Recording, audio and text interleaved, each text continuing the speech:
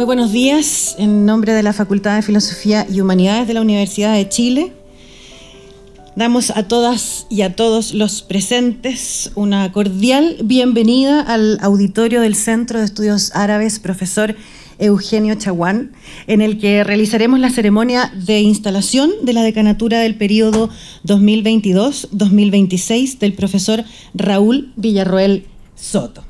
Preside esta ceremonia la profesora Rosa Debes, rectora de la Universidad de Chile, a quien damos una cordial bienvenida. Agradecemos la presencia en esta ceremonia de quienes nos han querido acompañar. La rectora de la Universidad de Chile, profesora Rosa Debes, el decano de la Facultad de Filosofía y Humanidades, profesor Raúl Villarruel, el decano saliente de nuestra facultad, el profesor Carlos Ruiz Schneider, la contralora de la universidad, señora Magdalena Gandolfo, el vicerrector de Asuntos Económicos y Gestión Institucional, Sergio, profesor Sergio eh, Olavarrieta, eh, la vicerrectora subrogante de Investigación y Desarrollo, profesora Silvia Núñez, también la vicerrectora de Extensión y Comunicaciones, profesora Pilar Barba el decano de la Facultad de Artes, profesor Fernando Carrasco, el decano de la Facultad de Ciencias Físicas y Matemáticas, profesor Francisco Martínez, también se encuentra con nosotros. La decana interina María Loreto Rebolledo y la vicedecana interina María Eugenia Domínguez de la Facultad de Comunicación e Imagen. Eh, también está con nosotros la directora de Relaciones Internacionales, profesora Alicia Salomone, la directora del Centro de Estudios Árabes, profesor Eugenio Chaguán, la profesora Marcela Sedán. Eh, también se encuentra con nosotros la jefa de la Biblioteca Central, profesor Eugenio Pereira Salas, Janet García, la ex decana de nuestra Facultad de Filosofía y Humanidades, profesora María Eugenia Góngora. Nos acompaña, por cierto, la directiva de la Asociación de Funcionarios de la Facultad de Filosofía y Humanidades, Cristian Vergara y Natalie Tapia, y también representantes del Centro de Estudiantes de nuestra facultad, Laura Gallardo, Amanda Ramírez. Nos acompaña también amigos y familia del decano entrante, a quienes les damos una muy cordial bienvenida. Muchísimas gracias por acompañarnos en esta importante ceremonia para nuestra facultad. Para iniciar esta ceremonia de instalación, dejamos con ustedes a la hora eh, ex decano o decano saliente de la Facultad de Filosofía y Humanidades, profesor Carlos Ruiz Schneider.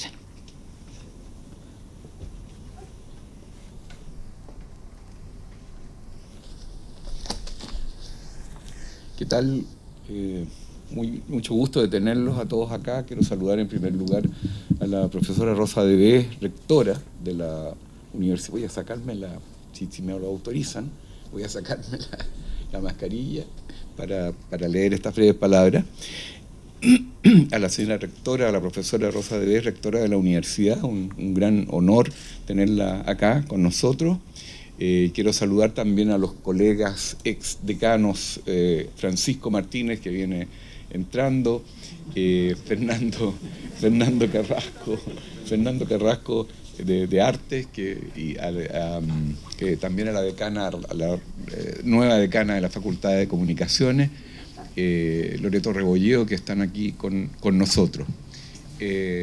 entonces, muchas gracias, los saludo a todas las personas que a todas las autoridades de la universidad y a las personas que están acá, eh, nuestros profesores, la ex decana María Eugenia Góngora, Marcela Sedán, que nos ha prestado este auditorio estupendo realmente, eh, y eh, entonces también a los representantes de estudiantes y de, funcionarios.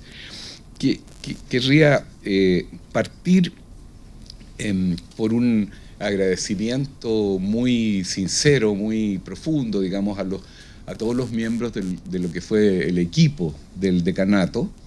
Eh, no los voy a nombrar a todos porque fueron muchos y además algunos se tuvimos, algunos llegaron hasta un cierto periodo, asumieron otros, sería un, poco largo, pero quiero partir con ese agradecimiento eh, muy, muy, muy hondo, digamos, que, que, se expresa tal vez, por ejemplo, en el nombre de... Eh, Luz Ángela Martínez, que fue vicedecana del, de este periodo y que de alguna manera coordinaba todo el equipo asesor del, decanato. Ahora, tuvimos entonces, voy a, hacer unas, voy a decir unas palabras bastante breves, eh, sin, sin mayores detalles, porque los detalles de lo que estoy diciendo acá están en mis cuentas, y por ejemplo, de la última parte está en la cuenta que acabo de hacer hace una semana en el Consejo de Facultad, en, la cuenta del periodo de este año 21 y comienzos del 22. Y entonces hablarles un poco de, la globalidad y diciéndoles al comienzo que el, inicio que hicimos en julio del 2018 eh, fue a partir de un proyecto que asumía como sus valores centrales la democracia, la participación y la equidad. Estaba marcado por el propósito de acentuar, no de impulsar, porque no es original, eh, es acentuar en las orientaciones de la facultad el fortalecimiento de las humanidades y el impulso a la educación como un proyecto, uno de cuyos ejes centrales son también las humanidades. Estos eran dos de los ejes centrales, no son los únicos, pero pero son tal vez los ejes centrales de lo que tratamos de hacer eh, en el decanato. ¿Por qué este énfasis? Primero porque por nuestro interés en subrayar en el trabajo en estos ámbitos la reflexión crítica que tiene como norte, esta es una palabra un poco solemne, ¿no? pero que tiene como norte, que quería decir, la emancipación, la liberación tal vez, entendida como lo propone, por ejemplo, un filósofo como Jacques Rancière en sus últimos trabajos, como una como una suerte de método de la igualdad, un método de verificación de la igualdad y de desconstrucción de todas las posiciones y las, y las digamos, actitudes que contienen una cierta, eh, contienen a la base una cierta eh, permanencia, por así decirlo, de, un, de, una desigual, de la desigualdad. Ahora, se entiende que considerada desde esta óptica, la relación entre nuestros estudios y las tendencias vigentes, por lo menos en los últimos años, en la sociedad chilena, quiero decir, por lo menos hasta el año pasado, digamos, en la sociedad chilena, eh, no ha sido fácil. En segundo lugar, nos interesó también ahondar en un punto que tampoco es simple y que tiene que ver con cómo se evalúa nuestro trabajo en la sociedad y en la universidad, eh, el trabajo en las humanidades y en las humanidades en su relación con, también con una educación centrada en, un proyecto humanístico. A esto respondió nuestra propuesta de instalar en la Vicerrectoría de Investigación eh, una sección que, como en el caso de las artes, hubiera estado centrada en la especificidad de nuestras disciplinas y nuestro aporte a la sociedad, una relación que tal vez podría especificarse con algo que proponía hace tiempo atrás Jürgen Habermas, como una relación entre teoría y praxis que es distinta de las relaciones entre las ciencias y la técnica, por ejemplo. Entonces, esto, era un propósito también que, aterrizaba, por así decirlo, este, este eje que teníamos en la candidatura y en el proyecto como fortalecimiento de las humanidades. Esto se, ha conversado, se sigue conversando, pero desgraciadamente no hemos todavía podido eh, concretizar esto a nivel de la universidad. Esta es la lógica que puede leerse, por ejemplo, en dos de los seminarios internacionales del año 2019, el segundo de los cuales coincide precisamente con el estallido social. Y entonces, eh, eh, al, tema general del fortalecimiento de las humanidades, eh, le agregamos con mucho, con mucho entusiasmo, por así decirlo, el tema de, del momento constitucional que se, que se vivía. Ahora, la facultad desarrolla, especialmente desde fines del año 19, una importante actividad de claustros y comisiones en este sentido, para plantear nuestras reflexiones sobre la universidad, la facultad y el país bajo el contexto de cambio constitucional que se abre en noviembre con el pacto que lleva a la Convención Constitucional. Hoy tenemos el proyecto de nueva constitución y una de las tareas que se nos abren como facultad es, creo, aparte de los temas más globales, expresar nuestra opinión sobre el lugar de la investigación sobre humanidades y educación, y especialmente sobre educación superior, que en mi impresión no he todavía leído entero el, borrador o el, en realidad el proyecto de nueva constitución, pero no está demasiado subrayado presente este tema de la educación superior. Yo creo que eso es una tarea que, que corresponde a las facultades y que, y que, yo creo que es algo que, sin duda vamos, vamos a realizar en este periodo. Ahora, volviendo atrás, el año 2020 está marcado, estuvo marcado por la pandemia, por el dolor y la ansiedad que ella trajo para las personas que trabajan en la facultad, sus hijos y parientes, sus compañeras y compañeras afectados también muy profundamente por el ahondamiento de las desigualdades que, que la pandemia nos trajo y psicológicamente también por el aislamiento impuesto por la pandemia. Un saludo entonces muy hondo y muy sincero a todas y todos los afectados por este periodo difícil que estamos viendo, del que estamos viendo progresivamente la salida, pero eh, es, algo que, que queda todavía por establecerse.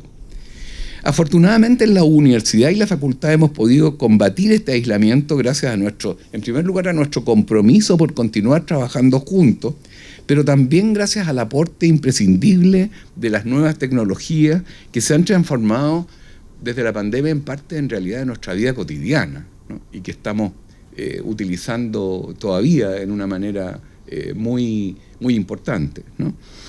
Así hemos ido reconstruyendo nuestro mundo común. Yo creo que esa fue una de las pérdidas fundamentales que nos implicó la pandemia, ¿no? la pérdida del mundo y la pérdida del mundo común, no del universo ni del planeta, por supuesto, pero del mundo, en el sentido más específico que lo tratan algunos filósofos.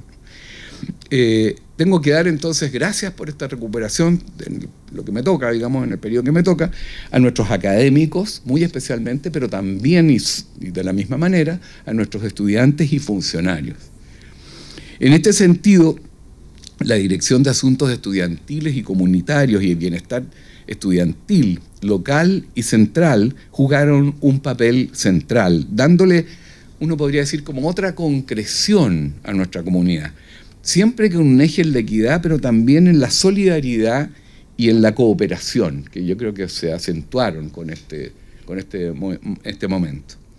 En agosto del 2021, en medio de una disminución de la crisis de salud con un descenso en los contagios y gracias a la efectividad de la política de vacunación del país, la universidad, y aquí quiero destacar el rol de la vicerrectora en ese momento de asuntos académicos, la profesora Rosa Debes muy especialmente, nos insta a una vuelta a la presencialidad, lo que significa también un gran esfuerzo para toda la comunidad, el que cuenta también con apoyos muy importantes a nivel central y que por lo menos yo viví en realidad desde marzo como con, una gran alegría, en realidad.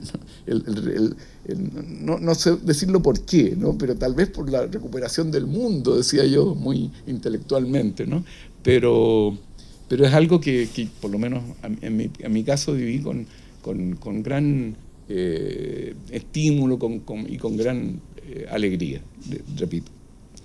Eh, bueno, querría, había, habría querido subrayar muchos de los temas de este, de este decanato de cuatro años que, trabajamos que tienen que ver con, con, esto, con esto que yo acabo de decir más en general. Pero de verdad eh, esto está en mi, en mi cuenta, que eh, me he demorado un poco, pero ahora ya la hice llegar a la rectora eh, con sus anexos y eso se, va a repartir por la facultad y se va a poder leer. Así que eso lo... Tenía un resumen, pero es muy largo, así que no, no, se los voy a ahorrar, se los voy a ahorrar.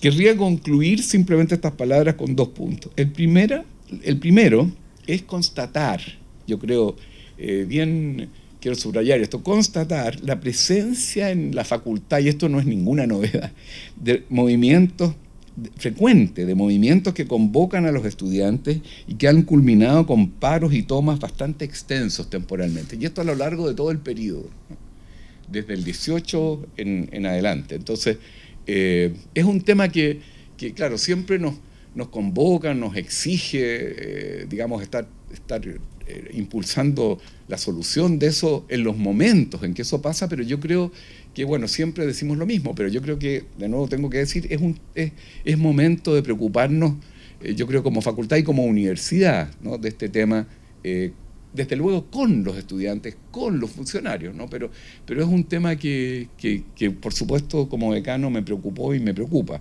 ¿sí?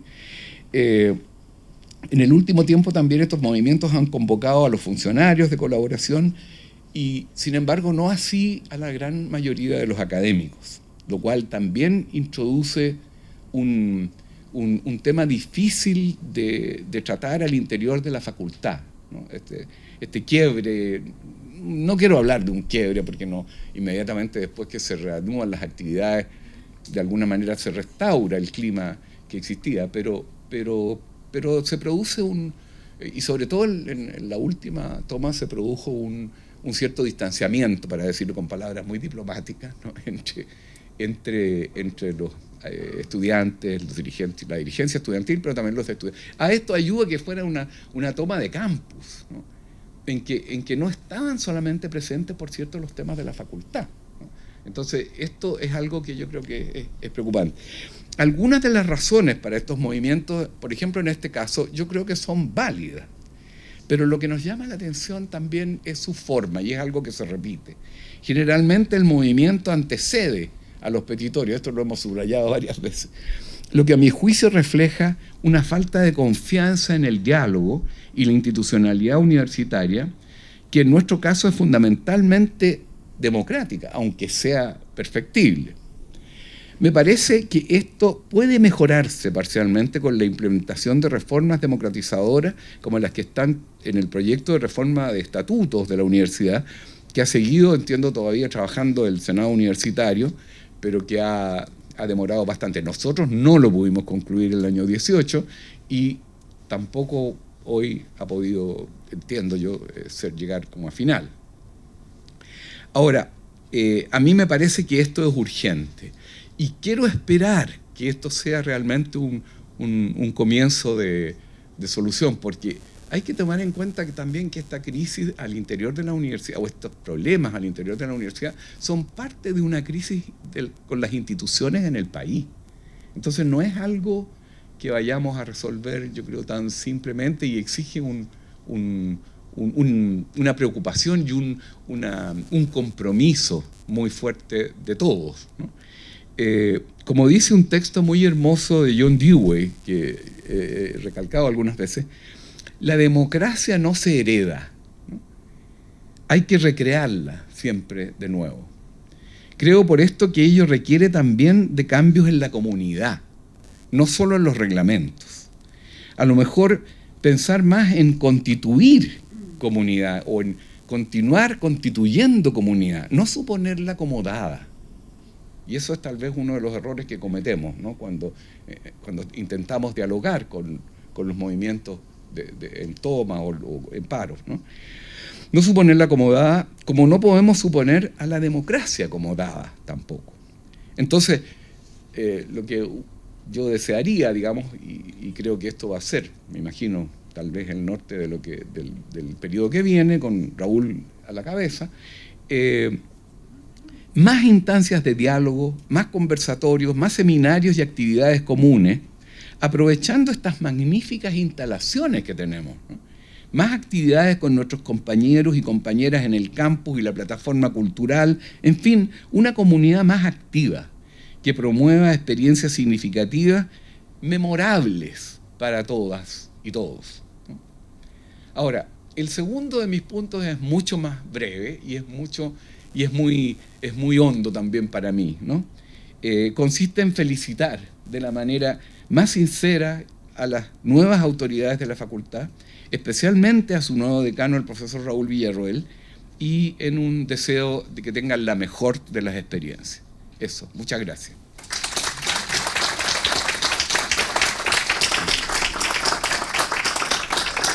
Agradecemos las palabras del decano saliente, profesor Carlos Ruiz Schneider. Siguiendo con nuestra tradición universitaria, corresponde hacer entrega al profesor Raúl Villarroel Soto de la medalla Andrés Bello. El decreto universitario que reglamenta los distintivos, distinciones y calidades académicas en su artículo sexto, indica que la medalla Andrés Bello es de uso exclusivo y obligatorio para el contralor, la contralora, las y los vicerrectores y las y los decanos de facultades en las ceremonias universitarias. La medalla Andrés Bello consiste en un disco de plata circular con la efigie en relieve del primer rector de la Universidad de Chile, seguido por su nombre, Andrés Bello, y en el reverso una leyenda circular que dice Universidad de Chile. A continuación, la más alta autoridad de la Universidad de Chile, la rectora profesora Rosa de Vez, impondrá la medalla Andrés Bello al profesor Raúl Villarroel Soto. Solicitamos a ambos pasar adelante.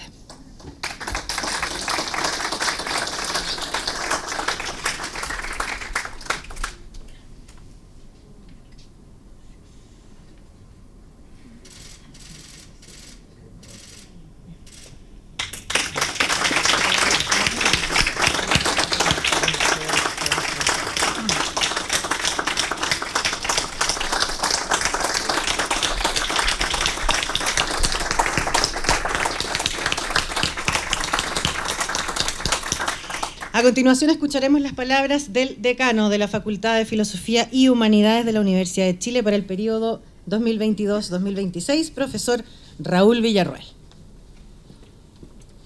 Gracias, Magdalena.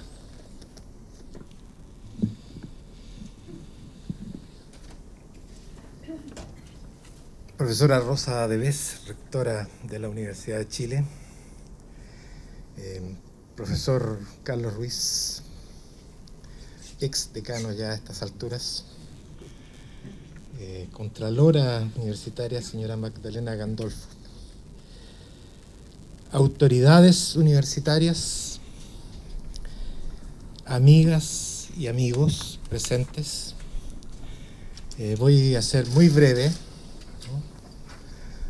Eh, en primer lugar, muy buenos días. mis primeras palabras de esta mañana no pueden ser sino de gratitud. En primer lugar, obviamente quisiera agradecer a la Universidad de Chile, mi alma mater, la casa donde cursé mis primeros estudios universitarios hace ya más de medio siglo, en tiempos muy asiagos, pero que a pesar de ello pudo imprimir en mí sus valores y su inspiración de una manera indeleble hasta el día de hoy. Agradezco también a esta maravillosa comunidad de la Facultad de Filosofía y Humanidades, compleja, diversa, inclusiva, insobornablemente crítica e insumisa, que me ha acogido siempre muy fraternalmente y ahora se ha permitido la inmensa generosidad de confiarme la conducción de su destino por los próximos cuatro años. Una tarea que, por cierto, estoy dispuesto a enfrentar con toda la entereza y el compromiso que esté a mi alcance. Agradezco también a mi compañera, esposa y a mi hija que hoy me acompañan en esta ceremonia. Su amor entrañable y su leal compañía son para mí fundamentales y nada de esto podría haber ocurrido si hubiera carecido de ello. Agradezco al decano saliente, profesor Carlos Ruiz, Tuve ocasión de acompañarlo durante dos periodos en la subdirección del Departamento de Filosofía, cuando él estuvo a cargo, y pude aprender muchísimo de su experiencia, de su sensatez y sobre todo de su incomparable amabilidad. Agradezco, por supuesto, a mis colegas del equipo directivo del decanato, que desinteresadamente se han puesto al servicio de este objetivo institucional como si fuera el propio Confío en que conjuntamente podremos cumplir de la mejor manera con nuestras enormes responsabilidades futuras. Solo me anima el propósito de aportar a la construcción de una facultad de filosofía y humanidades éticamente integrada, donde resulte decisiva la participación democrática de toda la comunidad, donde la posibilidad de expresión de sus integrantes nazca de prácticas efectivas de comunicación e interacción, tanto formal como informal, que estén definidas siempre por un carácter auténticamente plural y tolerante. Considero que para ello es fundamental la generación de un etos universitario que esté fundado en el diálogo simétrico, el respeto mutuo, el reconocimiento recíproco, la cooperación desinteresada y la deliberación crítica, que son a mi juicio las condiciones de posibilidad para que quienes integran la institución, situados en sus diversos estamentos, posiciones jerárquicas, desempeños cotidianos y compromisos personales, puedan llegar a sentirse responsables de las decisiones e implicarse activamente en el logro de los objetivos que les son comunes. Estamos enfrentados al imperativo actual de la excelencia y las lógicas de la eficiencia. Nuestros saberes humanísticos se ven hoy conminados a exhibir rendimientos que sabemos que están definidos a partir de indicadores y mediciones estandarizadas surgidos en otros órdenes diferentes del conocimiento. Mucho se discute en nuestro medio acerca de la impertinencia de tal marco de exigencias, porque se dice que operaría como una verdadera camisa de fuerza para nuestros ejercicios disciplinarios, puesto que, insistiendo en una concepción quizás sesgada de la idea de calidad, tendería a hacer que se pierdan de vista el valor moral y la proyección social de nuestros conocimientos. Como dice Rossi Braidotti, en el clima social neoliberal de la mayoría de las democracias actuales, los estudios humanísticos han sido desplazados al rango de ciencias blandas, estimados materias que profundizar en el tiempo libre. Me parece entonces imprescindible avanzar hacia una articulación virtuosa y no reductivista de ambos vectores que dirigen al conjunto del saber en nuestros días es necesario posicionar a las humanidades en sintonía y diálogo con las transformaciones y avances producidos en los múltiples campos del saber de la actualidad, dotándolas de la capacidad de responder a elevados estándares de exigencia, pero al mismo tiempo manteniendo e incrementando el compromiso y la vocación por las implicancias sociales de su quehacer es el sueño de la creación de un saber importante, en estrecha sintonía con los principios fundamentales de la justicia social, el respeto a la dignidad humana y a la diversidad. Es también el rechazo de todo falso universalismo y la afirmación de la positividad de las diferencias, de los principios de la libertad académica, la apertura al otro y la cooperación Necesitamos una mayor responsabilidad ética para afrontar la herencia en parte fallida del humanismo tradicional, separando sus elementos positivos de sus contrapartes negativas. Nuestras disciplinas se ven enfrentadas a una serie de nuevos requerimientos, tanto internos, derivados de sus propios objetos de estudio y metodologías para acercarse a la realidad, como externos, al ser exigidas de nuevas maneras por la sociedad a la que se deben y a la que piensan. En este último caso, advierto con optimismo que pese a los escollos que nuestro trabajo intelectual ha debido enfrentar, igualmente la fuerza de los hechos ha permitido constatar el valor y la relevancia que tiene un tipo de reflexión como la que despliegan todas las humanidades indagando en la profundidad del sentido de la experiencia humana y social, más allá de la pura racionalidad instrumental con la que hoy se ordena el mundo globalizado, más allá de la organización político-económica, de los registros algorítmicos que definen al presente histórico.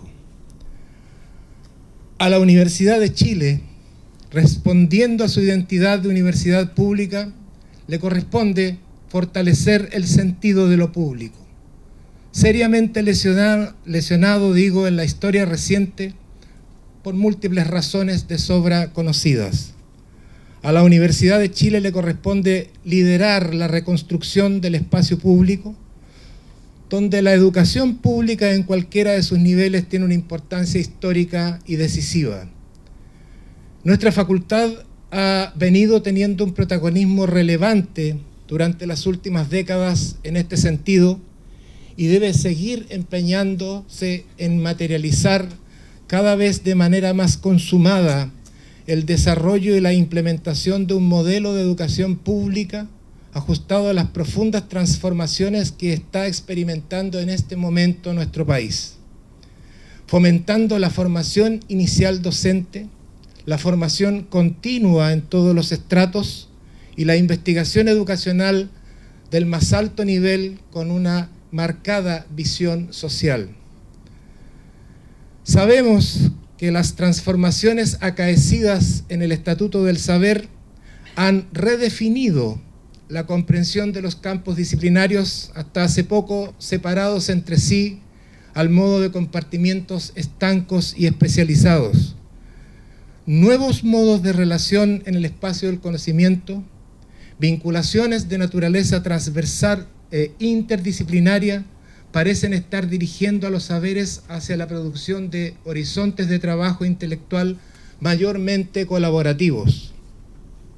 Las humanidades no pueden sustraerse a tales transformaciones del presente y parecen estar siendo también desafiadas a generar perspectivas de exploración renovada para sus conocimientos en un diálogo multi, inter y transdisciplinario que amplíe y enriquezca los límites hasta ahora conocidos de sus dominios específicos de conocimiento.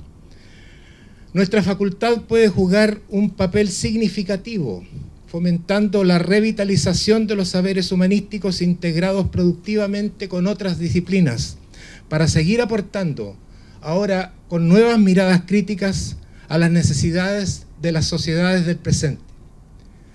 Si nuestras disciplinas fallan, es porque pueden llegar a quedar atomizadas y dar lugar a discursos ultra especializados, puramente exegéticos, cerrados sobre sí mismos, que finalmente se tornan irrelevantes ante el avance de la razón técnica globalizante. En este mismo sentido, y dado este carácter nacional y público de la Universidad de Chile, su relación con las universidades estatales y el Estado es fundamental. Nuestra facultad debe avanzar hacia la materialización de programas e iniciativas en relación con las políticas estatales de desarrollo del conocimiento de la investigación, la creación y la cultura. Nos corresponde también fortalecer nuestros vínculos con otras universidades y centros nacionales e internacionales, especialmente con instituciones universitarias regionales latinoamericanas, con quienes compartimos historias y desafíos comunes. Asimismo, se requiere seguir promoviendo las políticas de internacionalización actualmente en curso, tanto en los ámbitos de la docencia y la investigación, como desplegando sólidas estrategias de vinculación con el medio social. Corresponde pensar de manera sustentable el diseño organizacional de la Facultad de Filosofía y Humanidades, donde la noción de sustentabilidad, además de referirse a la cuestión medioambiental, al medio material en el que se desenvuelve la existencia cotidiana y que debe ser preservado de la devastación o el deterioro, remita al mismo tiempo también a la sustentabilidad laboral y a la misma idea de preservación sea la que defina las condiciones del trabajo en todas sus expresiones. Para ello se requiere implementar políticas presupuestarias equilibradas y transparentes, basadas en un criterio de justicia, que consagre un principio de equidad y permita avanzar hacia la superación de las situaciones de precarización laboral que pudieran eventualmente todavía existir. Pero asimismo, la sustentabilidad tiene que entenderse en el plano de la existencia subjetiva de las personas que integran nuestra comunidad. De tal manera se requiere atención preferente por la preservación y el cuidado de las relaciones interpersonales, librándolas de toda expresión de discriminación y abuso, favoreciendo la generación de marcos éticos y estructuras normativas que resguarden los derechos colectivos y aseguren las libertades individuales. No son tareas menores, lo sabemos con absoluta certeza, pero a ello nos hemos comprometido con todo nuestro empeño y convicción. Muchas gracias, muy buenos días.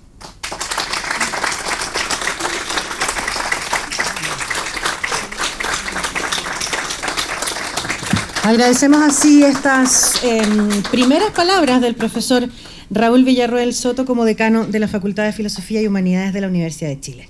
Invitamos a continuación a entregarnos también unas palabras a la rectora de nuestra universidad, profesora Rosa Deves.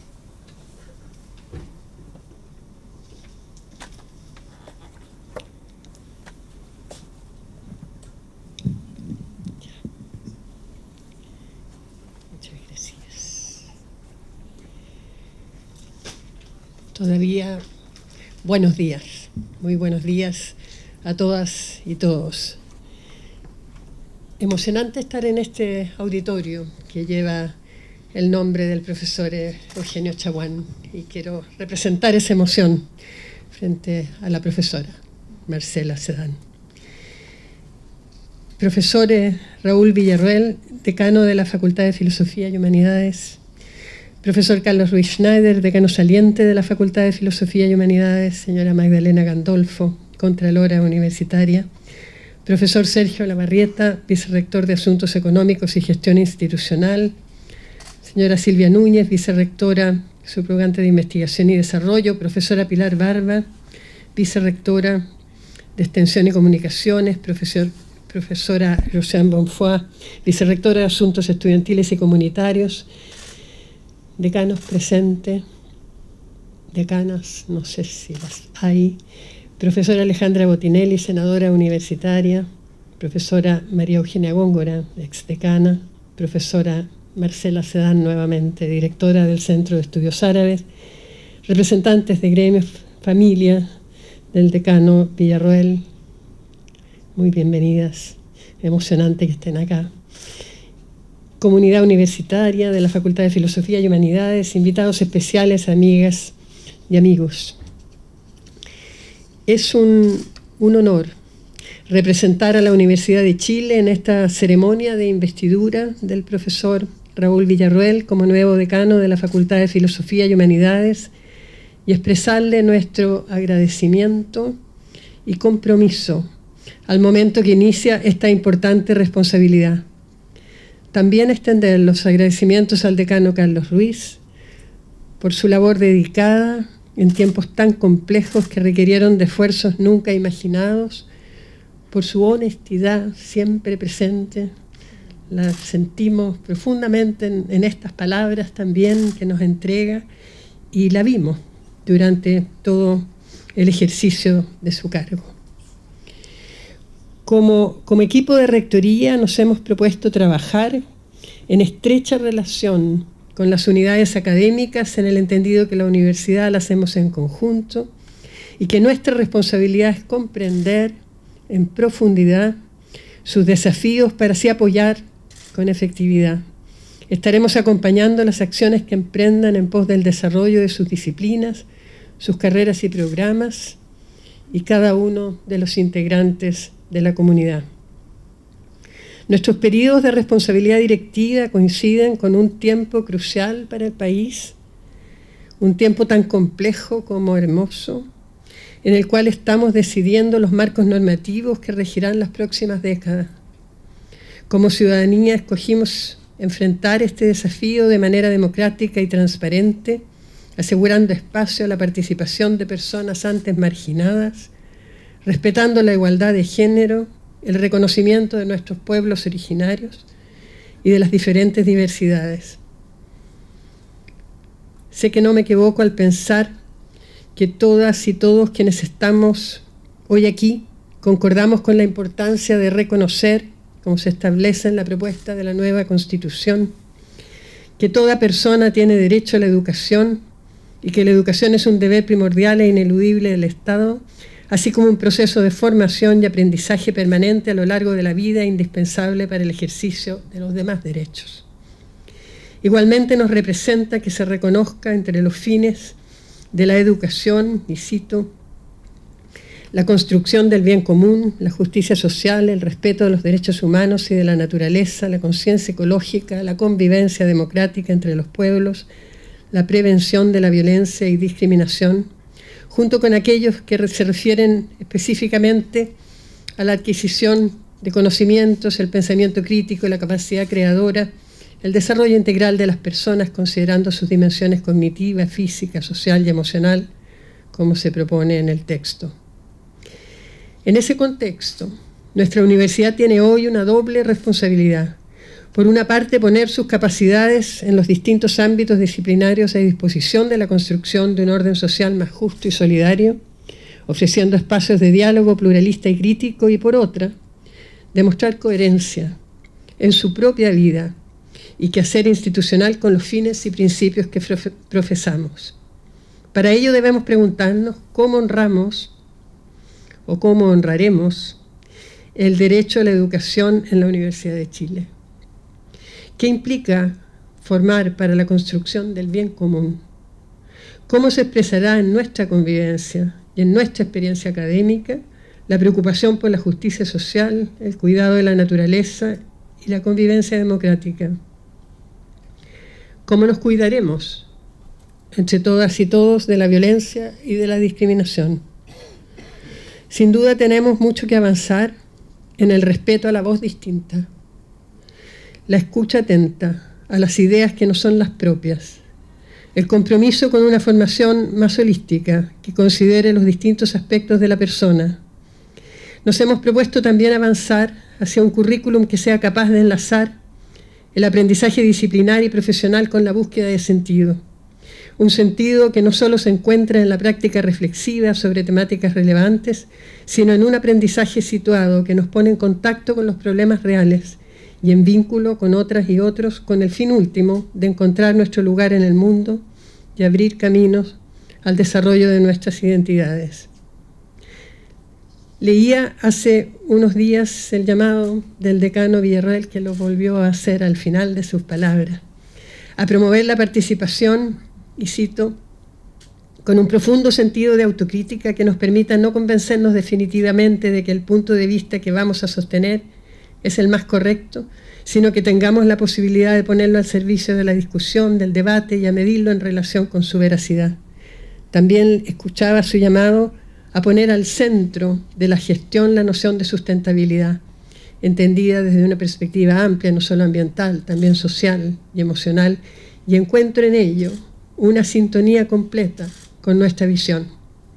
Por nuestra parte, hemos planteado también la importancia de potenciar el compromiso con los principios de sustentabilidad y de planificar la evolución de la universidad considerando la transformación social que exige el desarrollo sustentable, incluyendo los ámbitos de la gestión universitaria, de la formación de personas que pueden ser transformadoras de sus espacios, así como un compromiso con la equidad, la igualdad de género, la construcción de espacios de convivencia más inclusivos, seguros y resilientes y sostenibles.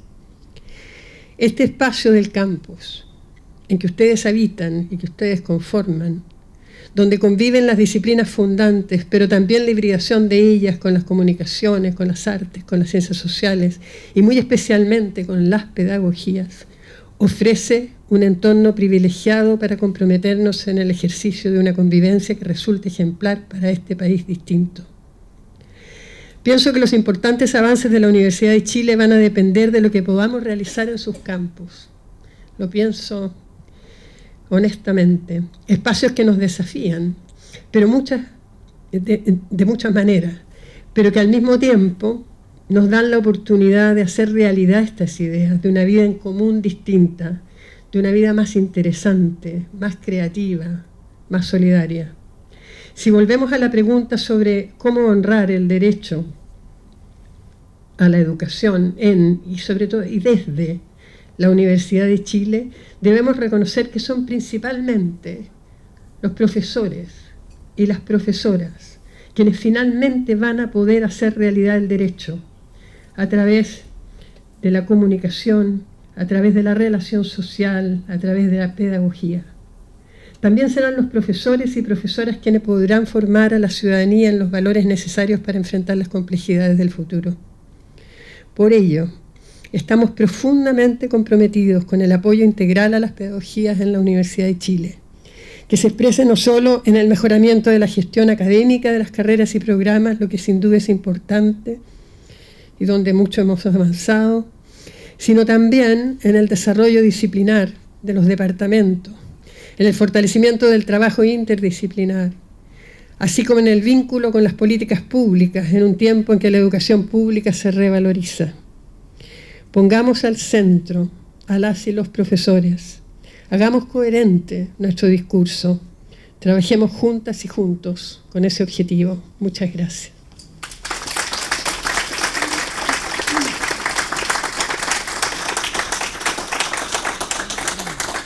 Agradecemos así las palabras de la rectora de la Universidad de Chile, profesora Rosa Deves. Estamos concluyendo esta solemne ceremonia y les vamos a invitar eh, a ponerse de pie para que entonemos el himno. Les damos las gracias enormes por habernos acompañado y al cierre vamos a ir cruzar al frente del hall a compartir un café.